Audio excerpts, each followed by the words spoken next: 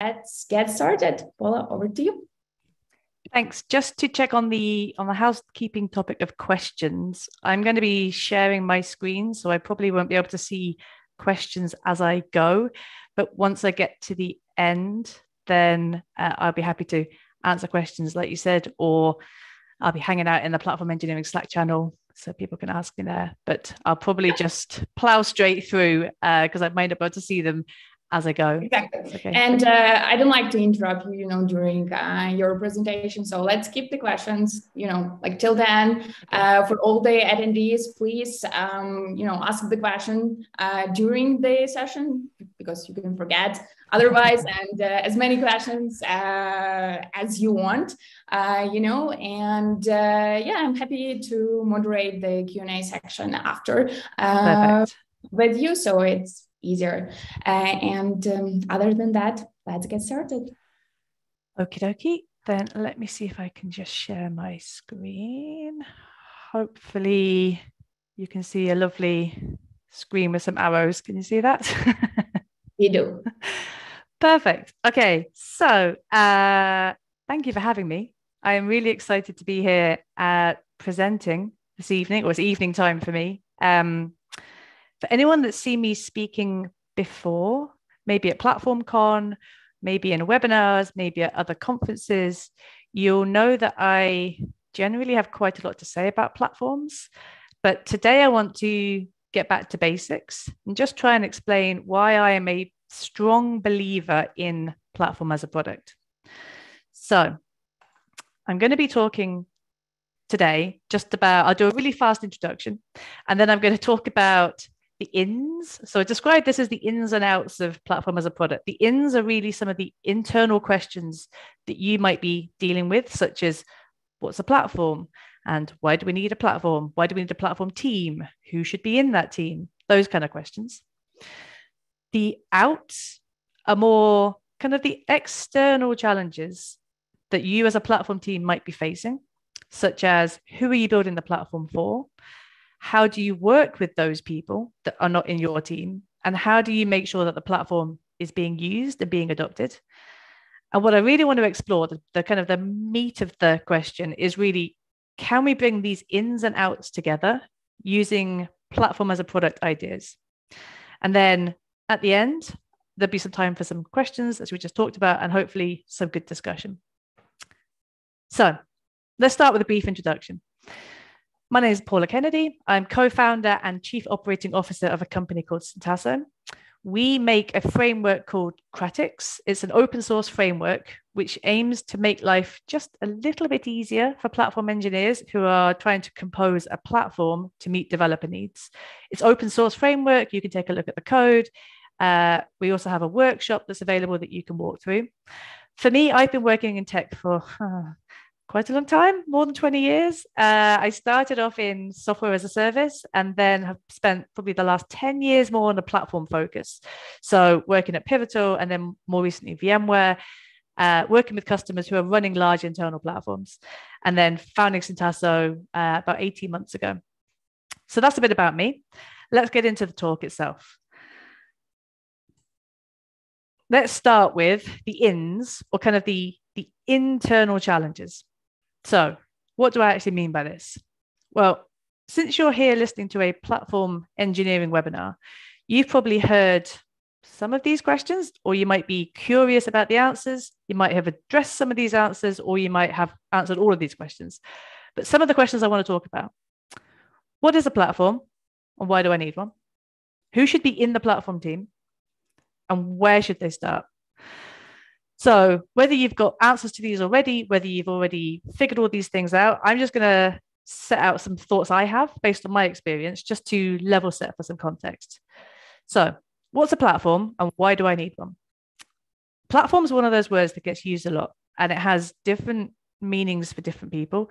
This is my kind of go to definition. Uh, it's from Evan Bottcher from 2018. And he describes a platform as being a foundation of self service APIs, tools, services, knowledge, and support arranged as a compelling internal product. Autonomous delivery teams can make use of the platform to deliver product features at a higher pace with reduced coordination. So, quite a lot of words there. There's a couple of key things to note from this definition. The first one, it doesn't mention any specific technology. The main feature it's talking about is having a self service interface so that people can use the platform. Now, at Syntasso, we're big fans of Kubernetes, uh, great place to build platforms, but a platform doesn't have to be complicated. A platform can really just be something very simple that teams can self service their way through into being able to deliver software. The second thing to note from this definition is it mentions teams, plural, using the platform. So we can understand from this that if you're a small organization with only one or two teams, you might not yet need an internal platform product. It's more likely something that you need as you grow in size and you've got multiple teams all trying to deliver value. And as for the why you need a platform, Evan's definition mentions that teams can deliver features faster with reduced coordination. So to dig into this just a bit more, we have to make reference to team topologies. Now, anyone who's not read this book, I would strongly recommend it. This is a photograph of my copy of it. Uh, it's a really fantastic book and it dives deeply into how to organize teams to achieve that, that higher pace of flow across the business, how to deliver value fast across the business. I'm not going to go into much detail because it's a whole book and it's really worth reading. You can also find talks from the authors. I know that Manuel spoke at PlatformCon, and both Matthew and Manuel have given lots of talks kind of from their book. But I just want to briefly mention the team types that Team Topologies suggests. So you can see that they advocate for having a platform team that manages the internal platform concerns. And that team, along with additional teams such as an enabling team and subsystem teams, they're there to support the stream aligned teams or application teams, you might call them, to drive that fast flow of value. So, hopefully, you're with me so far that when your organization gets to a certain size and you've got probably more than one stream aligned team or application team, and you're trying to focus on getting features delivered fast out to your customers, then you need a platform and you therefore need a platform team. So, who should be in that platform team? One question I've heard a lot is if we have a platform team, does that mean we're going back to having dev and ops separated? To which I have a strong answer of no.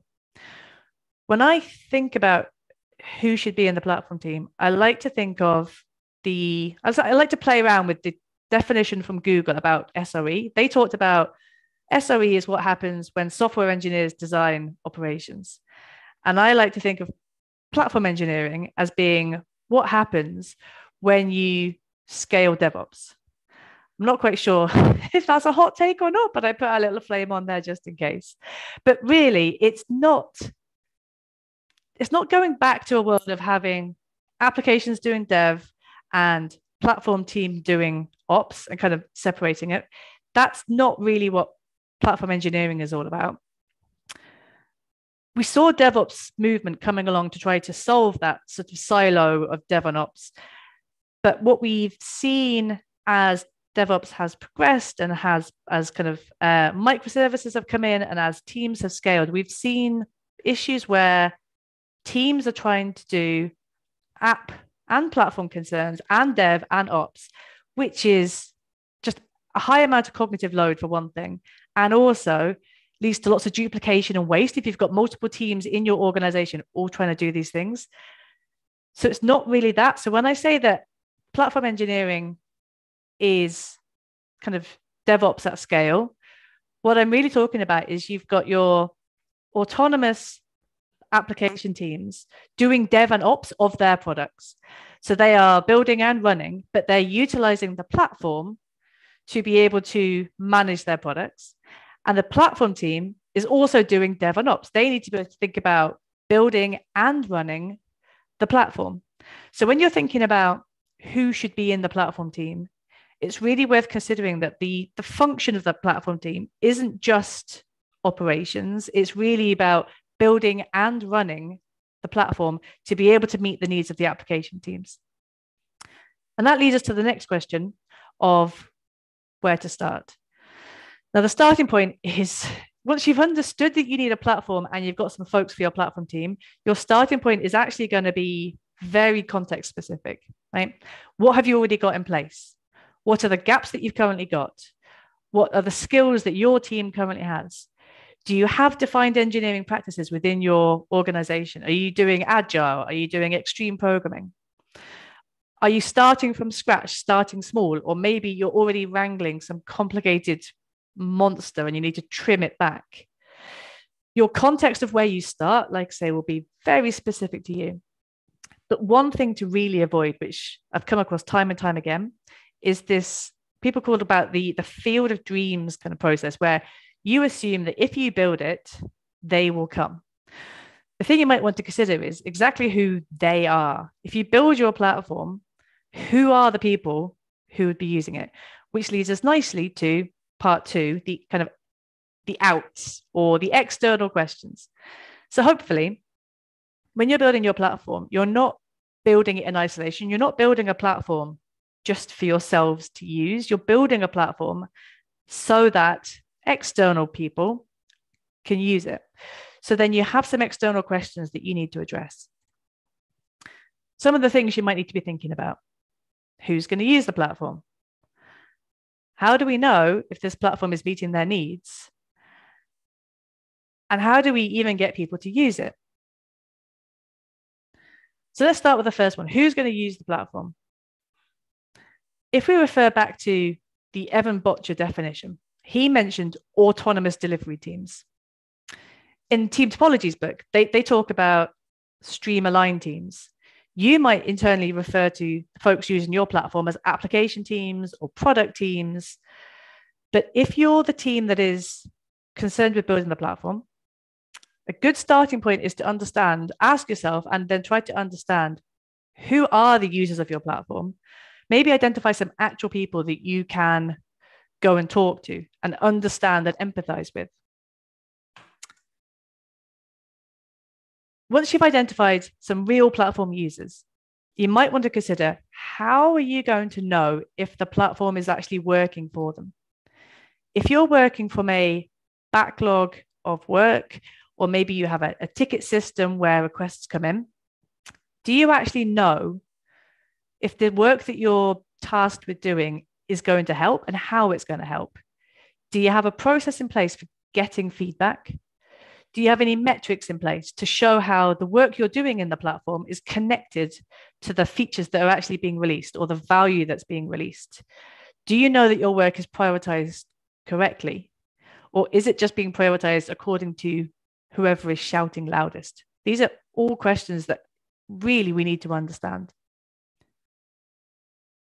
And one more question to consider, which I hear a lot, is how do we get people to use the platform? If you build a platform and no one uses it, is it really a platform? How much shadow IT is going on in your organization? How much money is being wasted within your business if you've got what you think is the most amazing platform that is all singing, all dancing, but then no one's using it and they're going around it? How many teams in your organization are maybe circumventing policies and potentially putting the organization at risk if they're not following certain requirements. If we can't get people to use the platform, it doesn't matter how good it is, or how secure it is, or how compliant it is, if no one's actually using it. So, just to recap some of the ins and the outs, we've covered that an internal platform needs to offer a self service interface to users, and it needs to be able to drive flow of value across the business to customers. That's why we really want one. It enables DevOps at scale so that both platform teams and application teams are developing and operating like their own products themselves. And we know that we need to be able to understand kind of the internal context. We need to understand why we're building it, what it needs to, what needs it needs to fill, and looking externally, wider than just our platform team. We need to understand who the users are because we're not just building it for ourselves. We need to have a way to measure that our platform is doing what folks need it to do. And we need to make sure that the platform is actually being used, or else what's the point? So, this is where we get to the best bit platform as a product and how it can help. Now, I've personally played around quite a lot with defining what platform as a product actually means. Um, I've attempted a few different definitions, but here's my latest one. So let's try this one. Platform as a product is what happens when you apply a product mindset to your internal platform. Okay, again, I'm not sure if that's a hot take or not, but I put a little flame just in case. Uh, so, what does that really mean? Well, what I've tried to do is apply a product mindset to the questions I've just posed and see how that might impact some of the answers. So let's have a look. If we go back to the question of what is a platform, in Evan Bottcher's definition, he also mentioned that the platform needs to be compelling, which I've highlighted here. So, in this way, it's like any other product that you might be offering externally. You need your customers to want to use the platform. So it needs to be compelling. You can't just, I mean, you could, you could have a mandate from on high that says, you all teams, you all need to use the platform. But the risk with that, if the platform isn't really meeting user needs or is awful to use, people are always going to find ways around it. They will go into a kind of a shadow IT. They will find a way of doing something that's faster or quicker or easier. And it's not compelling for them to use your platform. It's not a product that they want to use. And so they won't. So we're trying to apply the product mindset to our platform and make it compelling because people therefore want to use it. We mentioned earlier that within your platform team, you need dev and ops skills because your platform team is going to be developing and operating your platform. But if we're thinking like a product team, we and we know we need to make our product compelling. There's probably some other roles that we need. It might be a good idea to have a platform product manager. In fact, it might be a very good idea to have one of those because they can cover so many different things. A product manager can help define the product strategy, they can help set out a product roadmap, they can manage the backlog of the features that are being delivered and, and, and help prioritize those features with kind of data driven decisions and validating assumptions. They can really apply kind of the, the skills of product management to your internal platform. And you might also want to consider adding a designer to the team. If you're practicing as an organization, if you're practicing user centered design for your external products, why not do the same to your internal product? why not have a designer in the team who can help with areas like user research and focusing on that kind of user experience so applying a product mindset to the to the question of who should be in the platform team could look at expanding your team or even if you don't want to bring these these roles in permanently maybe consider rotating some folks in and or upskilling some people in the current team to kind of grow these skills. This expanded platform team can also, or this expanded kind of skill set within your team, can help answer the question on where to start. If the platform team is working like potentially other product teams in your organization, then they could be following a very agile process of kind of the build, measure, learn. The platform team could also be following similar engineering practices. So that could be extreme programming, test driven development, other things. But the kind of the, the where to start with the with a product mindset your platform team will be focused on this build measure learn loop understanding where to kind of where to start with the build and then building some and then measuring and learning like fast feedback that iterative process being able to kind of like build and learn as they go so that they're always building the right thing and not building something for a long extended period of time and then finding out later that it doesn't meet requirements. And treating your platform as a product can also impact some of those external questions we looked at before. Who's going to use the platform? One area where having a product mindset can help is to take a more holistic view of the platform. A platform product manager can help in one hand, like measure, they can help kind of manage those external stakeholders. So teams such as security or compliance or governance, the product manager can help uh, like liaise with those stakeholders, understand their requirements, bring them in. It's also worth considering rotating some folks into your team. If you're very focused on kind of a DevSecOps approach, you might expand your platform team to have someone from security in the team, or at least have a rotation process where you can understand that your platform team is meeting requirements of the wider organization, not solely the, application team. And it might be that things like security and compliance are actual gaps that your application teams are asking for. They might want to make sure that someone else is thinking about those concerns so they don't have to. Therefore, if you as a platform team have this holistic approach and are able to incorporate some of these areas in, you're helping the application teams and they will want to use your platform instead of having to think about some of those things themselves. On the question of how do you know that your platform is meeting needs, this is where user research is really critical. Having a designer in your team who can help facilitate user research is is really critical to kind of make sure that we're doing it right. You might want to try a journey mapping exercise where you sit with a with a team and you understand what are the steps that they're going through to get their idea or their code into production.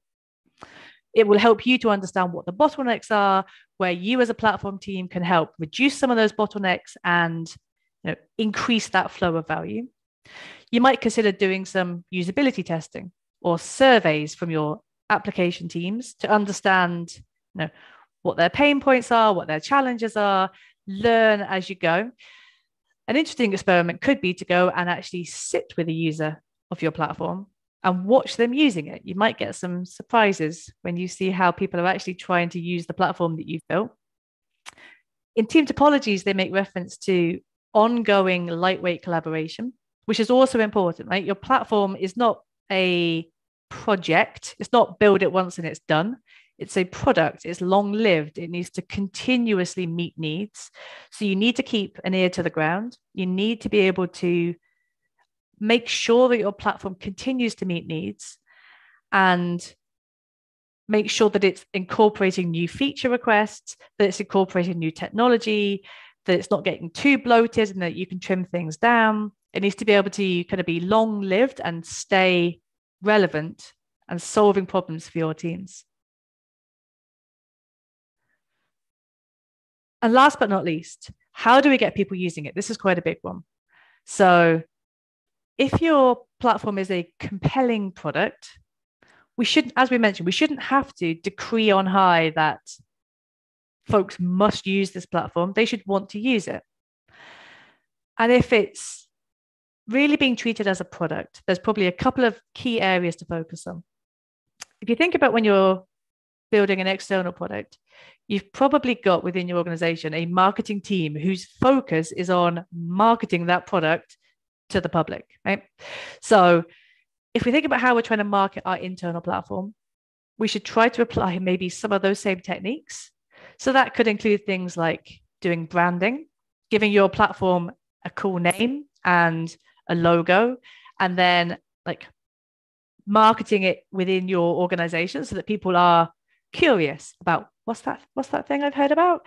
And they want to try out this new platform that could look like doing lunch and learns to educate teams about how to use it. It could look like producing swag. So you might want to give out stickers or t-shirts or mugs. I mean who doesn't love swag right? Give out some things to internal teams to get them excited about using your platform. Depending on the scale of your organization, you might have a developer advocate, advocate team who is going out and talking to users of your software or your product and like advertising it to them and also gathering their feedback. So, why not do the same with your internal product? Do you have within your platform team a platform advocate, someone who can go out and talk to your users of your platform, who can get them excited, who can gather their feedback, who can go and demo it, who can, you know, sit and watch people using it. Like that kind of external advocacy role that you might have with your products, external products, why not have it with your internal product? The other thing to think about is user experience. So we hear a lot about developer experience. This is where the platform team can really help, right? The platform, if the platform has a really good developer experience, then people will want to use it. Uh, I've talked in the past about golden paths. You might have heard this term. I think it's come. There's a great article by Spotify about kind of building golden paths, uh, and there's some talks also at PlatformCon about it. But really, what we're trying to do is make the experience of using the platform delightful and make it easy. Make it easy for the application teams to use your platform so that they know if they do that they are supported right so we talk about golden paths about making the kind of the path to production simple and supported so that it has all the things that the pl- that the application teams don't need to worry about and will therefore reduce cognitive load so i gave a talk actually at platformcon about cognitive load but it's really about trying to ensure that the path to production is easy for developers. So that could include security and compliance and uh, any kind of regulations that have to be met when the team, when an application team is deploying something on the platform. If they're following the golden path that you as a platform team have set up, then the application teams don't need to worry about a whole bunch of stuff, right? It reduces their cognitive load. They don't have so many things to think about.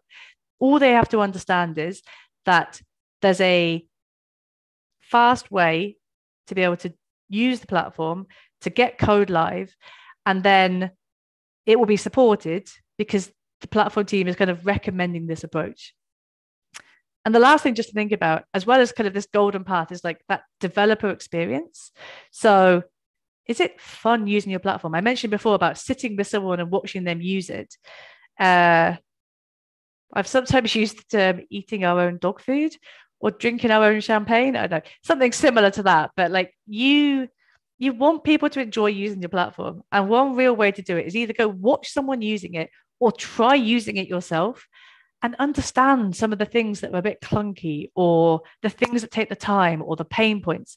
We want our platform to be delightful. We want people to not even worry about it or think about it. They just want to go ahead and use it. So, we really need to be selling our platform internally and making sure that the people who are using it see the benefit. They understand the benefit, they get the benefit, and they don't feel pain by using it. So, to summarize, I started the other way around. I started talking about the ins and then the outs and then platform as a product. But I'd actually like to invert the order. I think when we're thinking about platform as a product. That's where we should start. We should start by thinking about your internal platform as a product, like any other product. We need to apply that product mindset to the platform, and that will help address these other questions. So we start by thinking about it as a product. We then look at the kind of the external requirements. Who's going to use it? What does it need to have? What does the platform need to have? How are you going to make sure it continues to meet the needs? How will you make sure people are using it? How are you going to drive the adoption? And then that leads you to the internal questions like, what's the tools that we're going to use? Who are the team that are going to build it? What skills do they need? Do they need to have? Do we have product management? Do we have design, user experience? And we need to invest in that team because that team is really a, a driver of value for the organization. So it shouldn't be an, an afterthought or some kind of, you know, we'll just put some people together and they'll just get on with it. It needs to be invested in that skill set that mindset we need to invest, and that will help drive value across the business. Thank you for listening. Sorry if my voice is a bit croaky. I've been a bit coming down with a bit of a cold today, but thank you for listening. And no worries. hopefully, we have some time for some questions. Yes, we have uh, 15 minutes for questions, guys. Um, to remind you how you can ask your question, you can use either a chat or a Q&A section or like ask the question in the Slack channel channel after.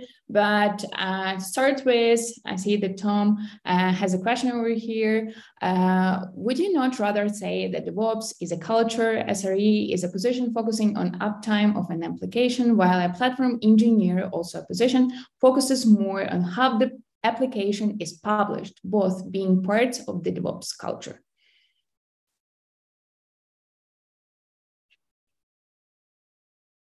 I cannot hear you, Paula. I, am sure that. Sorry.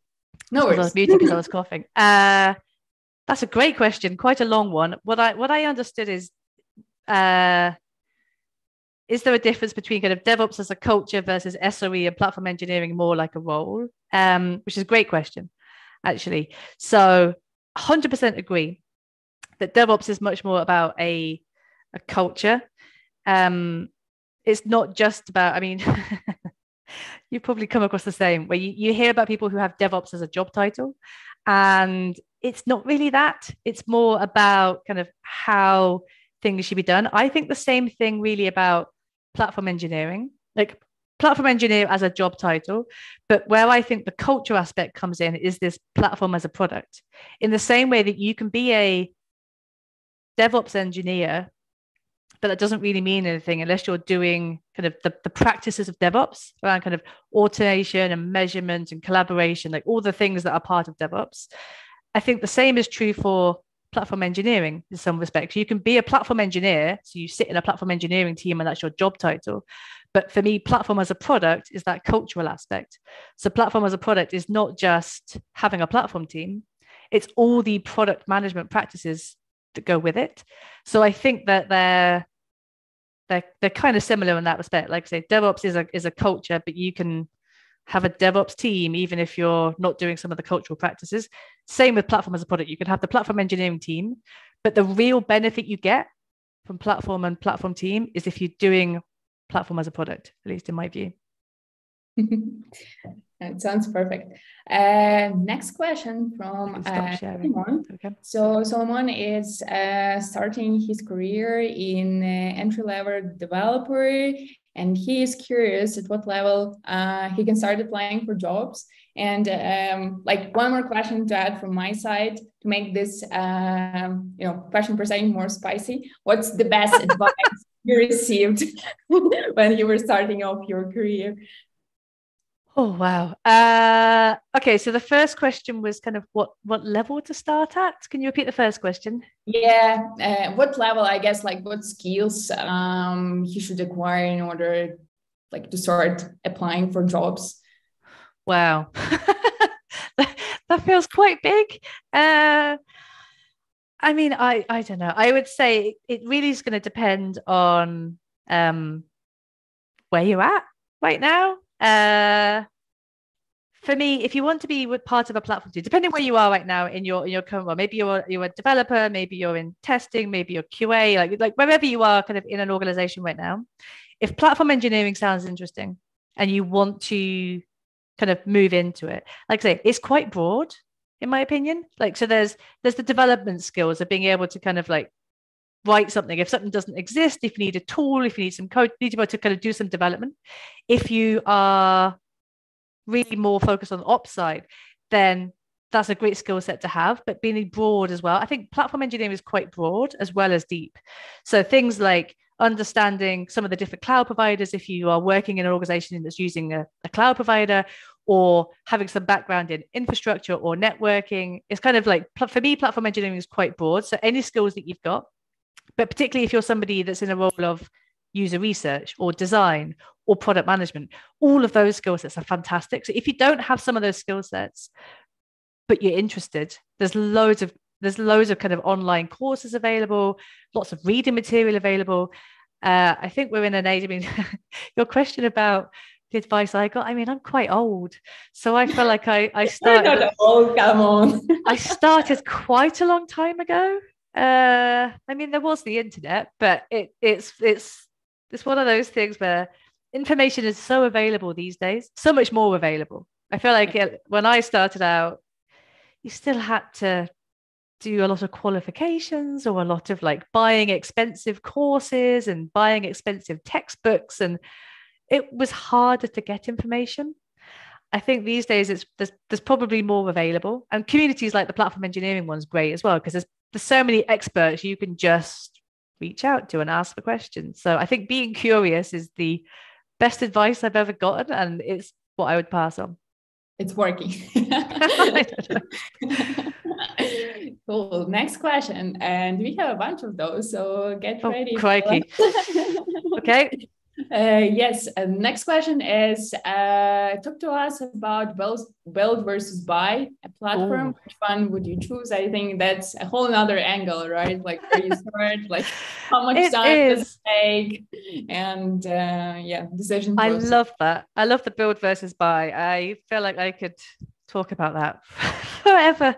Uh, build versus buy. So I like to think about um, in some respects, I like to think about kind of Wardley mapping or like understanding about what's your what's your core competency as a business and what is not a value add, right? So if you're a food delivery service like Uber Eats, let's say, then your core competency is about having like the best user experience for that application, about getting your food delivered fast, having your drivers available, all that jazz, right? It's not about doing kind of infrastructure management or building a platform. There's like there's like certain parts where it doesn't make sense to focus your engineering effort because it's not your special sauce. It's not the thing that makes you different or more valuable or better than the competitors. So you should try to look at all the parts of your kind of platform or your tooling that you're using and think about maybe 80% of what you're doing you can buy right it's really funny because i've had this i've had this argument with people over the years about when you work with lots of engineers there's a real mindset of i'll just build that I'll just build it. It won't take me long. It will just take me a few minutes. I can knock that up really fast. I can do it over the weekend. I can just build that thing. That's never like home as well, you know. Yes. Like, yeah. Exactly. But like people just think they could just build it, and that's great. And maybe that solves the problem. But actually, ongoing maintenance, day two is always a thing. And then when that person leaves and the half your company is running on this particular piece of code they've written and no one else can touch it because they don't understand it, that's not ideal. So I think it's about, for me, it's always about that choice of it. You might think you can build it, but if it's not really special to you, and you can get 99% of what you need if you just buy someone else's thing, some other SaaS product or some other like infrastructure tool, then build what makes build what makes you special, add the value that's actually unique to you, but just buy the rest. Just buy the rest. Yeah, that totally makes sense. Um, when you have a rather small team and two project managers uh, on it, do you think that it's going to cause issues like too many cooks in the kitchen or uh, they can, you know, project manage everything? I think, I mean, it's a question of is it project manager or product manager? Because that's two different things. Um, yeah. The question states project managers. Yeah, I mean, I could confess, once upon a time, I was a project manager uh, and I did my Prince 2 certification. It's a thing that, uh, I don't know, it's a qualification I did many years ago. And I used to run a team of project managers um, in a former life.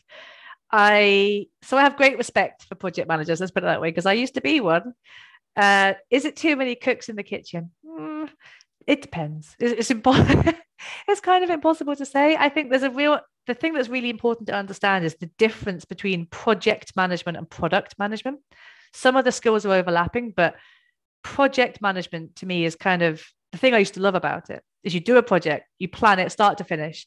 I mean, I used to love kind of Microsoft project and my Gantt chart, and I knew exactly what was going to happen. And but like I used to, like I say, I used to love that kind of stuff. But um, project management tends to be you're managing a project and it has a start and an end and you plan it and you have the dependencies and it's done product management isn't that product management is kind of ongoing and you're trying to like build and maintain a product going forward so a platform team really needs a product manager. What I've seen a lot of is project managers coming in to install a new platform tool mm-hmm. and they plan it, they install it, it's done, and they're on to the next thing, leaving the kind of platform team, assuming that there is a platform team, leaving them struggling to then maintain the platform and keep it up to date with what users need and that that product mindset. That's interesting. You kind of need to have a different mindset, uh, essentially like product mindset to build the platform versus like project manager mindset, you know, to keep the project uh, going And Like uh, would be interesting maybe to compare it uh, somewhere in the future in some uh, talk uh, or something. But uh, next next question is um, platforming um, an internal software seems a luxury, but long term strateg- strategically it makes sense. Uh, how do you bridge the cost analysis to convince decision maker? Can you repeat the first part of the question? I didn't hear that yeah, uh, platforming uh, and internal software seems a luxury. So essentially, like building out a platform, uh, ah, okay, costs a lot of money. Yeah, yeah, yeah, fair. I mean, it's a question of scale. I think I kind of alluded to that at the start of the talk, right? So if you are a relatively small organization and you're kind of trying to deliver one or two products to customers and your team is kind of managing all the things themselves whether it's a whether it's an external kind of cloud vendor whatever you're running. I mean the thing with platform is everyone's got one. You, you're either building it or you're using it but you've got a platform somewhere because you're running your software somewhere. Um, but if you're small i'd agree that there's not much benefit to forming a new team that's the platform team and kind of really investing in it. If you if you're able to kind of deliver with your couple of teams and the teams are running themselves like doing the full devops then fine. But as you start to scale you you find that actually you might be wasting money. That's the thing. You might be wasting money with duplication if you've got multiple teams all doing their own like Kubernetes management, for example, all spinning up their own clusters, all doing their own kind of figuring out like load balancing, whatever. Like it's where you start, where you where you're trying to uh, convince people of that return on investment is really trying to look at well, how much duplication can you save? How much waste can you save by centralizing some services? Can you actually save money and enable the teams to go faster thereby getting features out to customers faster, thereby making the business more money. And I agree it's a hard sell because it looks like it's just cost, right? Because your platform team isn't directly tied to sales, right? The platform team costs money and they don't necessarily bring in money. But I think one way to try to tie them together is really, like I say, looking at what costs you can save, but also looking at how, if you could do a I talked about journey mapping. If you could do a journey mapping, say, if we bring in this platform, we can get code out to customers five times faster, 10 times faster, then the business can start to understand, or stakeholders can start to understand that actually it's going to make more money. And hopefully that can kind of prove out that return on investment. Yeah, totally, totally makes sense. Uh, thank you, Paula, for that. And um, this one seems to be a bit technical. Let me know if uh, you don't want to answer it, but since it's already there, is Kratix comparable to Backstage? Different. it's really funny. So Kratix, uh, I mentioned at the start, is our I've got the t-shirt, is our um, open source framework that we've been working on at Syntasso. It's come from basically the, the founding team are all kind of ex Pivotal, ex VMware, who have been working in platform for quite a long time. Like I say, not everyone's quite as old as me, but quite a long time we've been working in the platform space. And what we've tried to do is apply lessons that we learned. So from building Cloud Foundry, which was a platform as a service, uh, which has evolved into kind of Tanzu application platform, what uh, what we've learned is that um, for one thing, everyone wants a bit of Kubernetes. So uh, we are trying to use kind of Kubernetes constructs to, to build upon. And also, the real thing we've learned, the real lesson is that um, you mentioned build versus buy. We've tried for a long time to offer a platform that met everyone's needs. And it turns out that that's not really possible because everyone's got their special sauce. Everyone's got that extra thing that they're trying to do, their edge case, their reason for for being. And having one platform trying to meet all needs isn't isn't quite it. So what we're trying to help with Kratix is we're trying to make sure that we can like I say, building on top of Kubernetes, take the power of Kubernetes and make it like kind of the composable, flexible nature of Kubernetes, but actually allow people to um, compose what they need and actually try to meet those user needs. And we do, we get compared to quite a few things right now. So on our um, on our website, you'll see. I think there's probably a, a a frequently asked questions section about, or there's like, I think there's a Kratix versus section. So there'll be a, how does Kratix compare to cross, uh, to Crossplane? How does it compare to Backstage? How does it compare to Terraform? There's quite some information uh, available. So it's not the, it's certainly not the first time we've been asked about how it compares to Backstage. Um, but we like to think about with Kratix, really what we're trying to do is work really well with some of those technologies. So you could deploy Backstage using Kratix. And if you want to go and have a look at how, I'd go and have a look at the website. But Kratix, Backstage is one of those things you can deploy with Kratix. So is Crossplane, so is Jenkins. I know. You can deploy lots of stuff using Kratix to build the platform that you need. Yes, cool. Um, just guys, to remind everyone, uh, we uh, have nine more minutes uh, to go with questions. Uh, yeah. if you have any questions like further, like please go to Slack Engineering um, channel and people will get those answered for you. I'll also like copy and paste the, uh, the questions we don't have to answer. Uh, we don't have time to answer before this webinar um, ends. Um, so you'll, you'll be able to find the answers uh, over there. But uh, to continue with questions, the next one is what kind of metrics do you use to measure the success of your platform? I cannot hear you again. uh, sorry, I keep drinking water because my throat's very sore. Um, that's a great question. So once upon a time in a previous role, we had a a thing that we called kind of the plat what do we call it? Platform health matrix. Uh, I've seen various versions of this, to be honest. Um, and there's lots of different measures you can have, right? So, um, I mean, the DORA metrics are quite nice, like time to recovery, um, th- those types of things. Or like, um, I've seen measures about, I don't know, how many people are using your platform, uh, or how fast it is to deploy. I mentioned about like doing the journey mapping, like how fast it is to get from kind of like idea to production. I think measuring is really measuring is really important. Uh, you can't improve something if you aren't measuring it because how do you know if you've improved it, right? So it's one of the kind of the the DevOps uh, principles. It's like measurement is really, really important. I think the, when it comes to platform,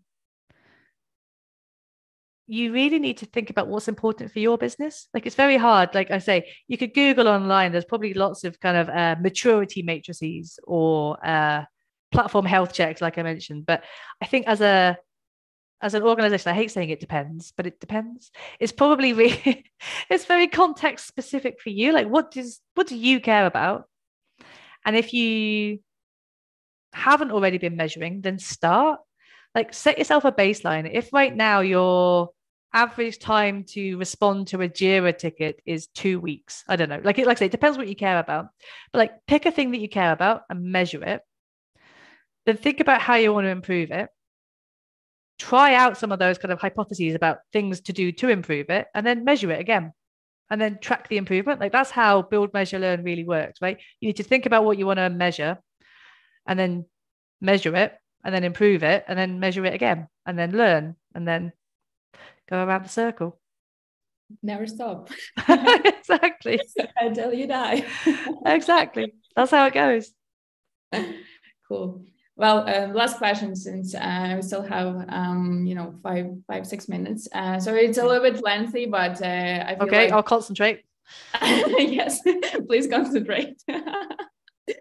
So uh, Miko says that I work as a part uh, of a system team for um, our responsibility has been tightly um, tied to releasing um, and operations, but now our team is sort of developing uh, to kind of uh, middleware between application teams and teams who develop platforms. I feel uh, that we do a lot of work making the platform more like a product to the developer teams. So basically, I've been wondering, uh, should we develop our team more to the direction of a platform team, or should we just think of ourselves ourselves as an enabler team? Oh, that's a good question. Um, it sounds like maybe that person has read team topologies because that's kind of the two of the team names within the book, right? So, um, platform team is as kind of I've covered, like the team managing those platform concerns, enabling team can be a team that enables. I mean, I'm thinking specifically like it could be, it could have some of the functions that that person's just describing, right? Um, and it doesn't really matter. Like the key thing about team topologies is about having a clear set of team responsibilities and a clear API kind of between the teams and an understanding between the teams of kind of who's doing what, clear boundaries, clear responsibilities, and a fast flow of information across the teams. So, whilst it's good to have these kind of recommended practices, within the context for the person that just asked, it's it doesn't have to be set in stone. And I guess what I'm trying to say is like it's hard for me to say you should do this and you shouldn't do that because I don't know the wider context. But there probably isn't a specific answer that someone external come and say. What you need to do is just just define it. It doesn't really matter if the if the responsibilities aren't traditional or you know as perfectly prescribed by somebody else. Your context might mean that your team wants to be enabling the team that maybe is more like um, kind of a cloud adoption team or a developer advocate team but internal. It it's it's really just about making sure that there are clear roles defined and clear responsibilities defined and that everybody knows how, who's doing what. And if your team's veering into a certain direction fantastic. Like explore it see what benefits you're offering to kind of users of the platform and then maybe share the experience right? Talk about it. I don't think there's one one way that has to work. I think it's just about having a good flow and team boundaries and then understanding who's doing what. Yeah as long as other teams uh, know what you're doing that's all good. Yeah. you're aligned. Exactly about understanding what they need and you're serving a team or teams and maybe another team serving you like that that's kind of how organizations work right but just making sure that that definition is clear and that there's no friction or like difficulty navigating who's doing what yeah um, i totally agree with that but uh, we're on time unfortunately i would spend another half an hour, an hour with you, Paula. But uh, hope to meet you in person soon in Detroit end of October. Yeah. Uh, guys, uh, send us a note as well if uh, we'll be um, KubeCon. Let's meet, meet up in person. We are going to host a party. Please join in. Um, and uh, we're going to send a follow up for this uh, webinar with the webinar replay. And for two other questions that were not asked uh, during the live session, I'm going to post them in our Slack channel. So please okay. Uh, go in and um, Paula is going I'll have a go. I'll remind you. And uh, it was a pleasure, truly. And thank you so much for your time, Paul. I um, hope you have a great end of your day. Thank you. Thank you for having me. I hope you don't have too many more earthquakes. Uh, I hope to. But Denver is crazy, and they had like those like three big earthquake on the same day, which is really more crazy on the 19th of September. So, guys, don't go to Mexico on 19th September. Thanks very much. Thank you. Bye. Bye.